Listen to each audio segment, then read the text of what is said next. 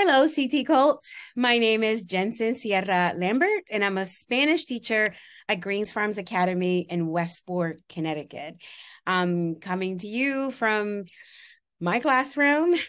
Um, this is my classroom in the background, and welcome to the first video of a series on diversity, equity, inclusion, and belonging.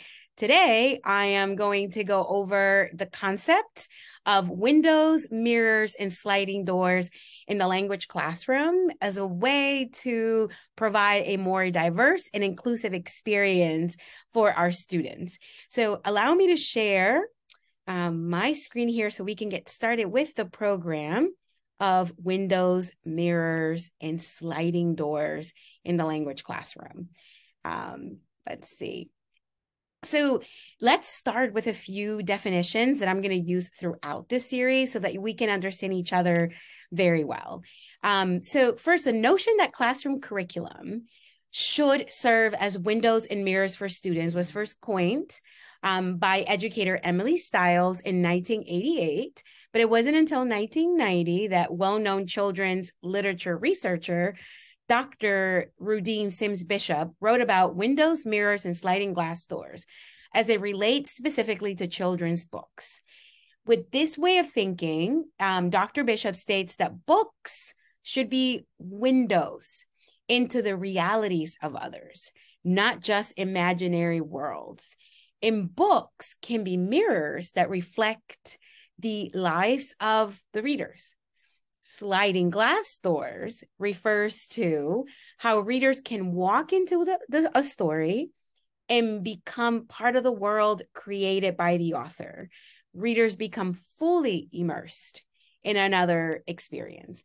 So, approaching children's stories through the lens of windows, mirrors, and sliding glass doors prioritizes diversity, number one. Number two, it honors many cultures. And number three, it promotes empathy. So now we're going to see how this plays out in the language classroom. Um, so let's do a quick review of what DEI and B um, means and how it plays out in our own classrooms, in the language classroom. Um, so, as an educator, um, I've always been curious about the fundamental differences between diversity equity, inclusion, and belonging because they're very specific. Um, and the best way for me to understand the differences is to ask myself questions, right? We teachers love essential questions. So these are the questions that I've written for myself that I use to reflect on my teaching, my lessons, my curriculum. So when I think of diversity, here's what I wonder are my lessons providing windows into a variety of cultures? Are there sliding doors in my lessons to allow students to enter those cultures? Um, do my lessons combat the omission of race in my students' identities? Inclusion. Do my lessons value the cultural perspective and or experiences of my students? Are my students able to make meaningful connections to instructional content? Belonging. Are my lessons a mirror for all students? Do they see their experiences reflected and valued in my curriculum? Right? So these are the questions we're going to keep in mind as we um, delve into these windows and mirrors and sliding doors. And also, um, when I uh, show you some of the examples that I'm going to show you today and in the following videos. So, um, so what does ACTFL have to say about all of this? Well, in 2012, ACTFL put out a statement on DEI charging world language educators with specific tasks regarding inclusive teaching. We have a responsibility. I have a responsibility as a language teacher to incorporate content in my curriculum that celebrates diversity. It exposes our students to a variety of cultural perspectives. Um, and beyond that, we are also responsible for creating a space where students feel safe to express their identities, to ask uncomfortable questions and to engage in social discourse. That's our responsibility. Um, I invite you all to look for um, this position statement on diversity and inclusion is on the ACTFL website. Um, here I've highlighted uh, things that really stand out to me in terms of ACTFL's um, responsibilities, um, when it comes down to diversity and inclusion. So I want my classroom to be a place where diversity is appreciated and respected. Um, also, um, the fourth bullet point here promote awareness and dif- differentiation of language instruction to accommodate students' diverse learning styles. That's super important for me. Exceptional learning needs, cultural, ethnic, and linguistic backgrounds, and personal interests and goals. And the last one here, um, which I think is the most important as far as this series on DEI is concerned, encourage the selection and use of instructional materials that integrate multicultural and diverse perspectives throughout the curriculum. Um, so hopefully the examples that I present to you today and in the following videos um, we'll give you more specifics on this. Um, so let's get started with windows, right? So what are windows again?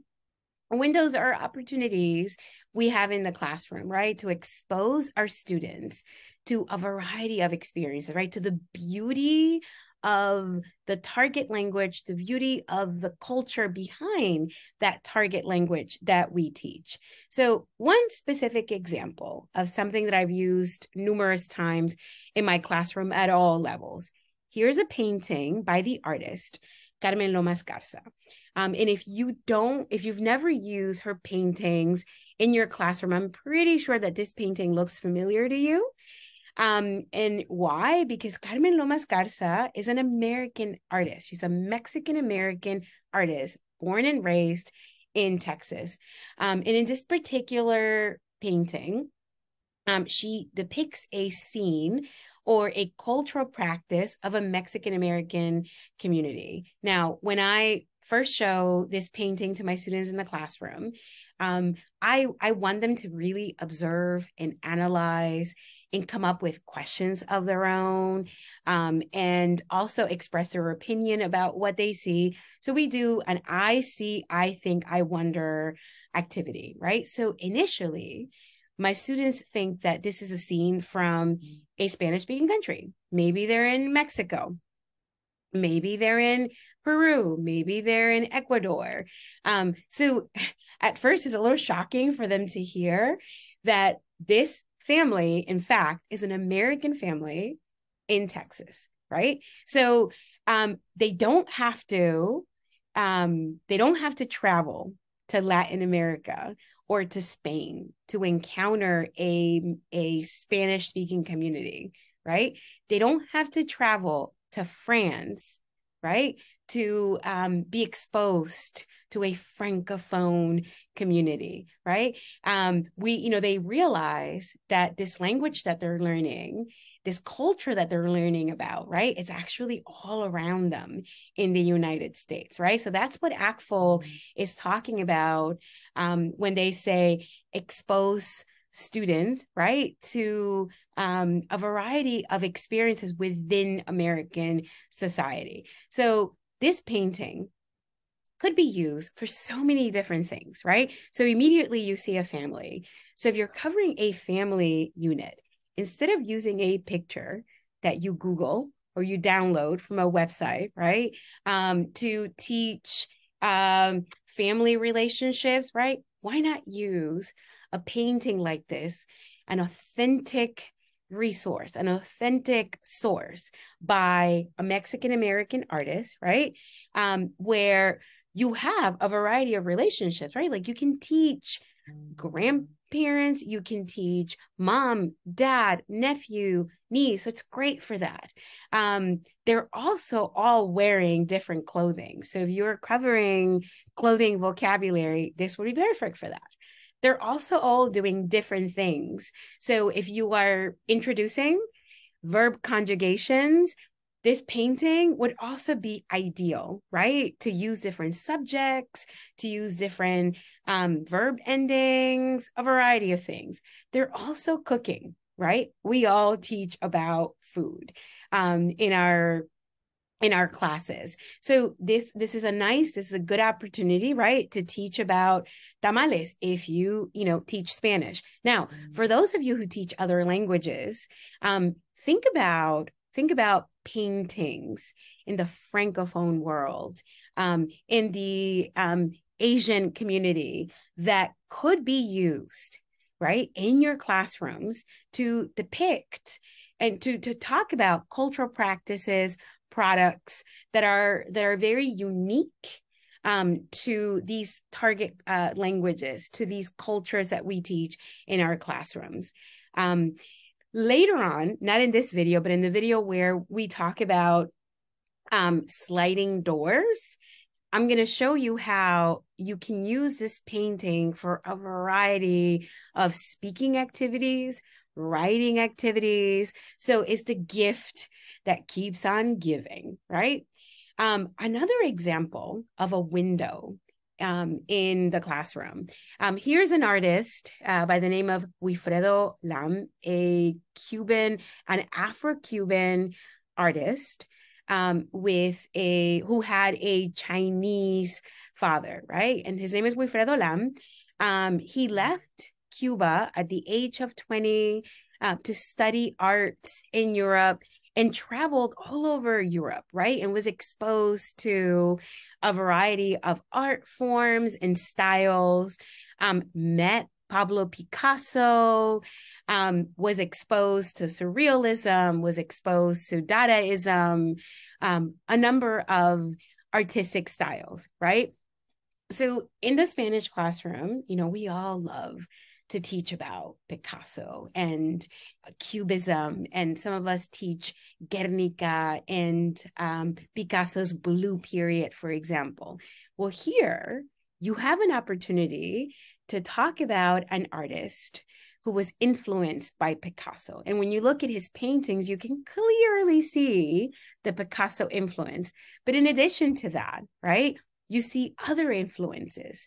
And then you have an artist with a very diverse mestizo background, um, which also provides a, an opportunity for a um, mirror, which we're not going to talk about today. I'll explain later on how this can be a mirror for some of your um, students in the classroom.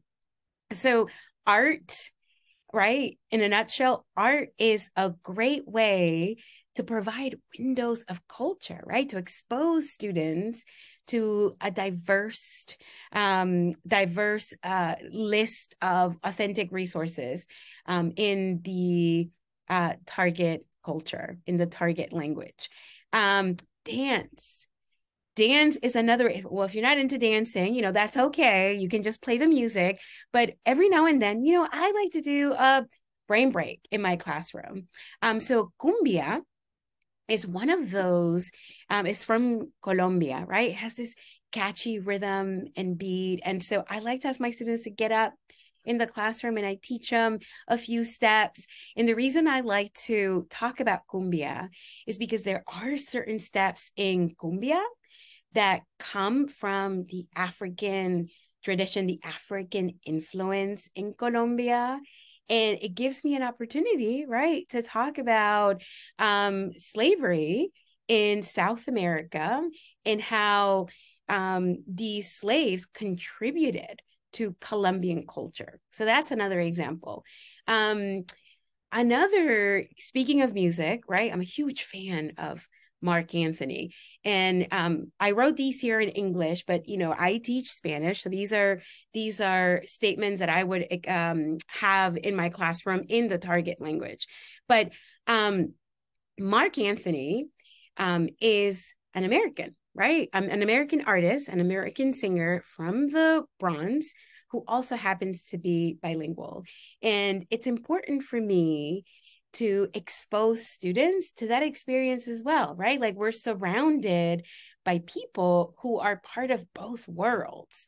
They're not monolinguals, right? And they've they've grown up right um, exposed to two cultures or three cultures so mark anthony a bilingual singer provides an opportunity right to talk about um, another type of american experience um, now one thing that sometimes we forget um, our classrooms are amazing tools, are amazing windows into the target language, into the target culture, right? So a lot of our students, um, those 60 minutes, three times a week or four times a week that they get to spend in our classrooms, that's all the exposure that they get to the language. That's all the exposure that they get to the culture for the majority of my students, right? So here's a picture of my classroom which as you can see it looks like a piñata exploded in it there's so much there's so much color there's so many colors and so many different things um different furniture but you know the artifacts that i have in this classroom um, have also been great teaching tools for me, right? Because sometimes when, when students get distracted, they start daydreaming. Sometimes, you know, they start staring at the artifacts that I have in my classroom, and that serves as a conversation starter, right? Um, and I try to have artifacts. I think I have an artifact from every single country in the Spanish speaking world. Many of these things I've acquired um, through my travels, or, you know, sometimes my students or my family, they travel to Spanish speaking countries and they bring me things because they know that I, I, I like to have these things in my classroom. And honestly, some of these I've gotten from Etsy. Um, and so don't forget that your classroom can also be an amazing window um, of culture, of knowledge, right, for your students. Now, in our next video, um, I'm going to show you how those windows um, can also serve as mirrors for some of the students that you have sitting in your classroom. Um, so don't forget to tune in, right, for the next uh, uh, episode, which is Windows, and we'll finalize with sliding doors. So it's been a pleasure uh, to talk to you about uh, something that's really important to me. Um, please reach out if you have any questions. My um, email will be provided in the newsletter. So thank you so much. Thank you so much for joining me today, and I'll see you next time. Hasta luego. Ciao.